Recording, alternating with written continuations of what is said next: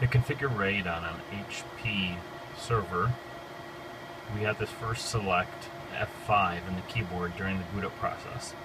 That'll take us to the array configuration utility as you see here.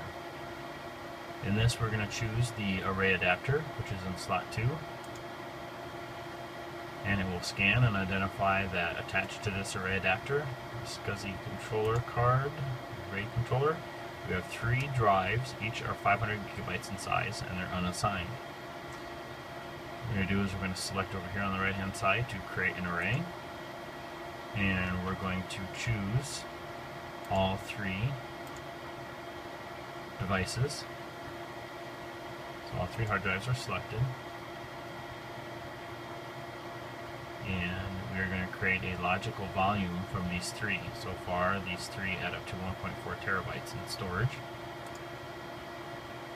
By selecting these, we're going to choose the options that are available. Based on this controller, we have a RAID 0 or a RAID 5 that can be chose. We're going to choose the stripe size. Default is 256. We're going to leave it a default. Default sectors for track. And maximum size, essentially going to have one terabytes of storage, using one third because it's a RAID 5. Hit save.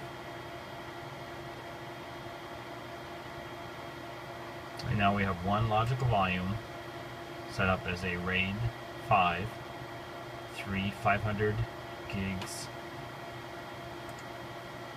drives. If we take a look at the physical view, we see this one logic volume consists of these three physical SATA drives. And we're done. We hit exit.